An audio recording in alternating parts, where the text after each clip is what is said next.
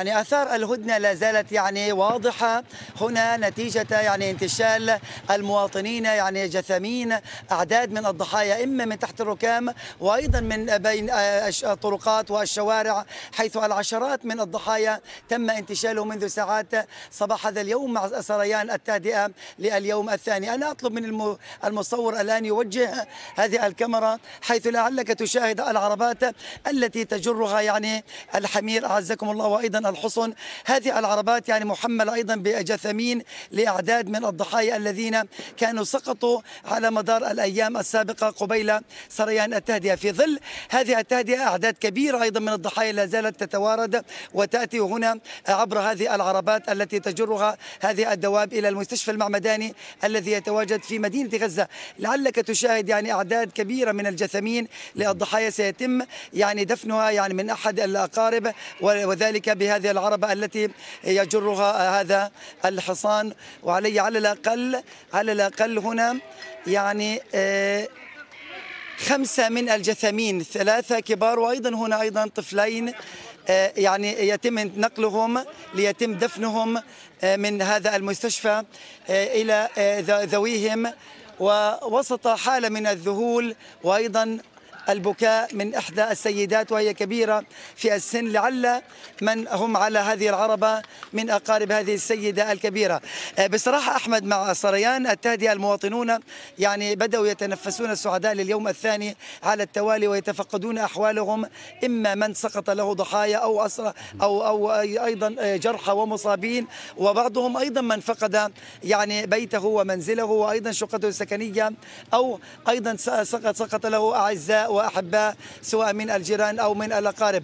المواطنون مع سريان التهدئه يحاولون أيضا لملمة جراحهم وأيضا تفقد بعضهم البعض في ظل يعني حالة إنسانية صعبة تواجه الفلسطينيين خصوصا هنا في مدينة غزة وأيضا في شمالي القطاع إذ أن شمال القطاع كان تعرض لما يشبه يعني المنطقة المنكوبة نتيجة الغارات الإسرائيلية التي ضربت احياء يعني بكاملها ومربعات سكنية سقط على إثرها العديد من الضحايا وأيضا المصابين لعلك تشاهد يعني هذه الطفلة التي لا نعم تتعدى على ما يبدو العام ونصف العام.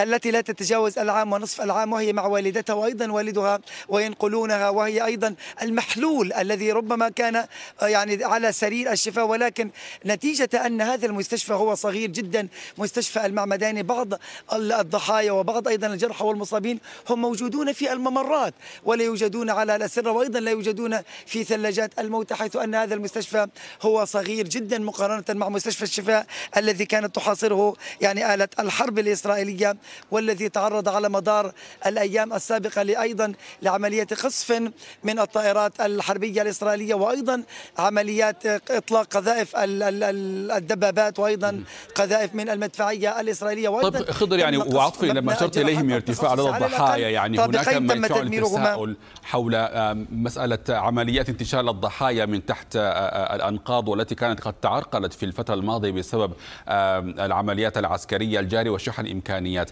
هل عادت هذه العمليات الآن الواجهة مع في محاولة لاستغلال هذه الهدنة ربما؟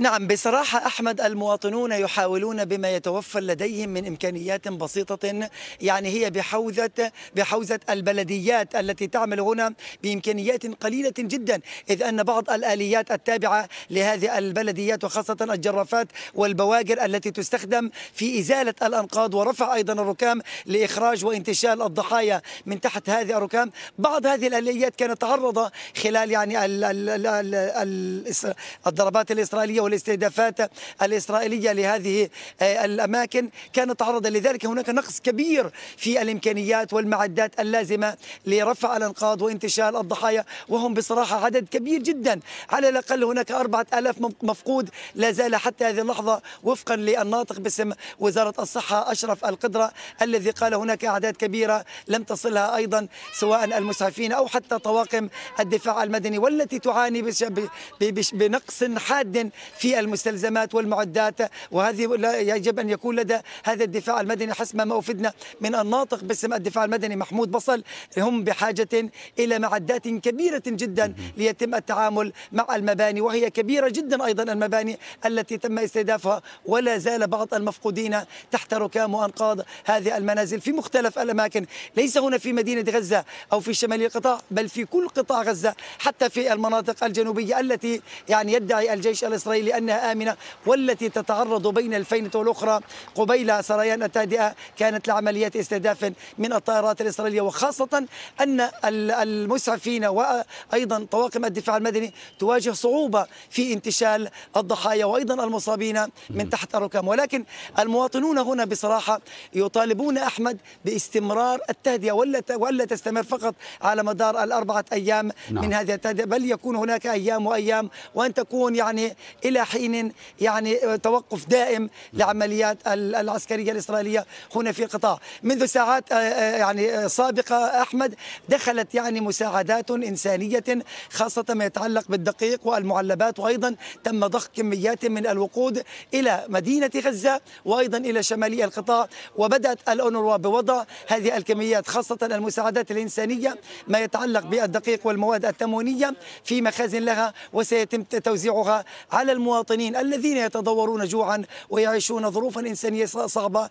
تباعا خلال الساعات القادمة وأيضا عند الرابع بتوقيت فلسطين طيب. سيتم إطلاق الدفعة الثانية وهي من المرحلة الثانية في عملية التبادل أي صفقة الأسرى بين بين حركة حماس وأيضا السلطات الإسرائيلية حيث سيتم إطلاق في هذا اليوم يعني قرابة الأربعة عشر من المحتجزين والرهائن الإسرائيليين الموجودين لدى حركة حماس وأيضا بعض الفصال وأيضا سيتم إطلاق قرابة ال 42 من الأسرى الفلسطينيين وغالبيتهم من النساء وأيضا من الأطفال والفتيان نعم وهذا نعم ما سنتابعه في الساعات المقبلة بالتأكيد خضر. لكن أيضا فيما يتعلق بأوضاع النازحين خضر وفي أماكن نزوحهم يعني ماذا عن الخدمات الإيوائية مع هذا التدفق الكبير للمساعدات؟ هل هناك خيم هل هناك قدرة على احتواء هذه الأعداد الضخمة من النازحين وإيوائهم في مناطق آمنة؟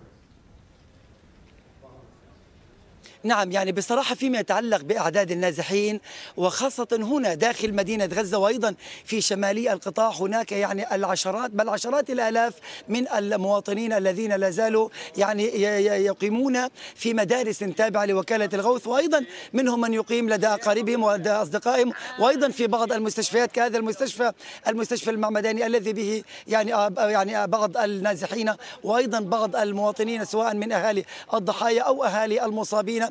هم بحالة إنسانية يعني صعبة وصعبة للغاية. نتيجة يعني الأيام الطويلة من عمر هذه الحرب التي تشنها إسرائيل على غزة. ونحن اليوم في الشهر الثاني ونقترب من اليوم الخمسين لهذه الحرب. لذلك المواطنون يعيشون ظروفا إنسانية وهم بحاجة ماسة لتدفق هذه المساعدات الإنسانية نعم. سواء الطبية للمستشفيات هنا في مدينة غزة والشمالية القطاع أو حتى المساعدات الإنسانية الخاصة بالمساعدات التموينية والغذائية لأنه لأنهم بصراحة يتضورون جوعا.